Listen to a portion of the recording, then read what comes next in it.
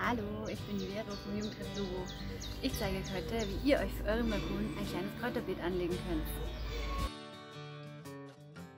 Du brauchst einen großen Behälter, einen alten Eimer, Blumenerde, im Idealfall Aufzuchterde oder Gemüseerde, Samen wie zum Beispiel Radieschen, Petersilie und Rucola, Gartenhandschuhe, eine Schaufel und ein Wasserspritzbehälter. Als allererstes habe ich mir diese Wäschetonne besorgt. Damit du nicht unnötig viel Erde brauchst, setze einen alten Eimer umgedreht in die Tonne. Das macht die Tonne leichter, damit du sie besser tragen und bewegen kannst. Dann füllst du die Tonne bis ca. 20 cm unter dem Rand mit gewöhnlicher Blumenerde. Diese ist günstiger als Spezialerde. Ein kleiner Tipp, falls du eine Kompostieranlage in deiner Nähe hast, kannst du dort sehr günstig und super nachhaltig Erde kaufen. Bringe einfach einen leeren Behälter mit und befülle ihn mit Erde. So kaufst du regional und völlig plastikfrei. Wenn du willst, kannst du für die oberste Schicht, wie ich, Spezialerde nehmen, da diese die jungen Pflänzchen mit mehr Nährstoffen versorgt.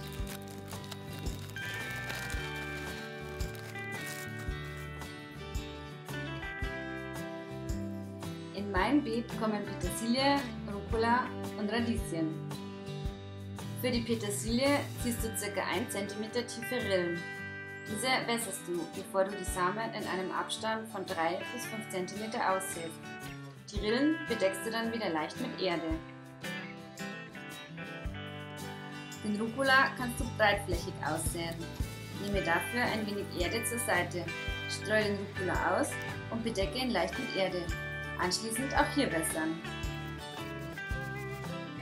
Für die Radieschen, ebenfalls wie bei der Petersilie, wieder 1 cm tiefe Rillen ziehen und wässern. Die Samen in einem Abstand von 3 cm ausbringen. Meine Radieschenreihen sind zugegebenermaßen etwas eng beisammen. Bei zu engem Stand muss ich die wahrscheinlich später vereinzeln, also umsetzen.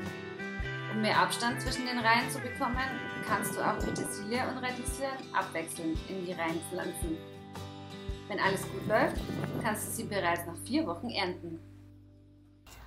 So, mein Beet für den Balkon ist gesät und ich hoffe jetzt, dass es wächst und gedeiht und ich euch bald Fotos schicken kann von meinem kleinen Kräutergarten. So, und weil ich mir für mein Beet noch einen Farbklecks wünsche, pflanze ich jetzt noch ein paar Sonnenblumen.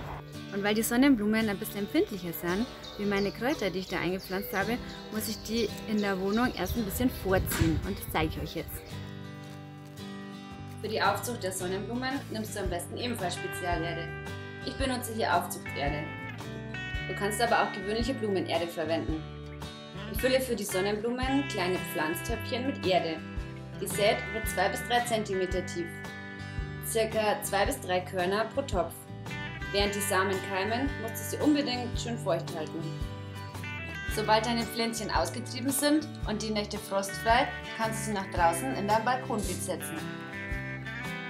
Wenn ihr auch Lust bekommen habt, euch ein Sandwich zu machen, schreibt doch in den Kommentaren, was ihr euch einpflanzt. Ciao!